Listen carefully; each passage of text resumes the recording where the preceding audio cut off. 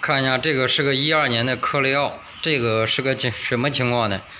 是后屁股追尾了，这个漆也是白珍珠的，然后看一下后边，它这个后杠原厂的，追尾之后后杠的话没有裂，因为原厂的这个柔性是比较好。它这个是后喷的漆，我跟你说，如果是原厂的漆啊，它是不会爆的。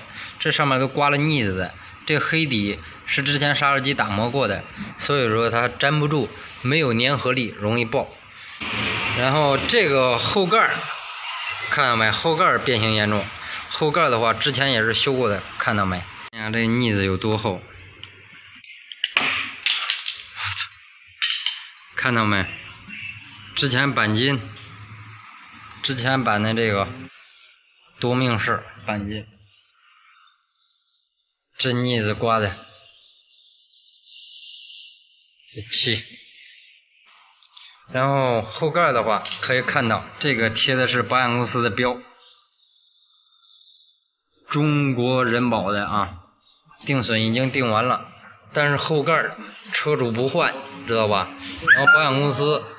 看它这个后盖的话，破损比较严重，而且之前也做过漆，没有二次回收的价值了，所以也不要旧件。车主的话也是不换，把它修复一下。这个是进口的克雷奥，这个后盖的话，一个原厂的三千多呢，所以说副厂的话跟它一比差太多了，轻。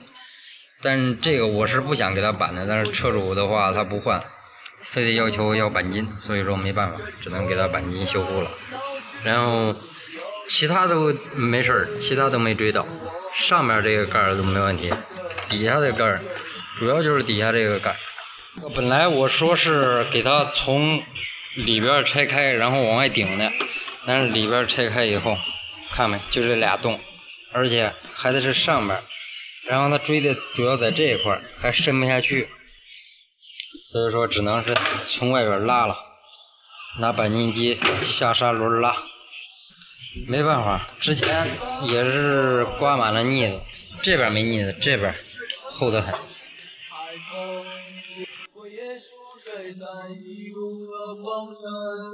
这里就像与闹市隔绝的又一个世界，让我们疲倦的身体在这里长久。时光是我们的时光，大海的波浪翻滚着我们的向往。那里何时会再传来我们的歌声？那一些欢笑已过去，那些往昔会记。我们的时光是无忧的时光。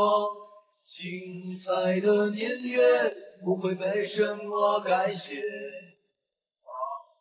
的笑语时常回荡在我们耳旁。然后它这个后盖是定的换嘛，然后总共这车定下来的话就是将近五千块钱，但是它这个不是不换嘛？不换的话，它为什么不在四 S 店修？这就是原因。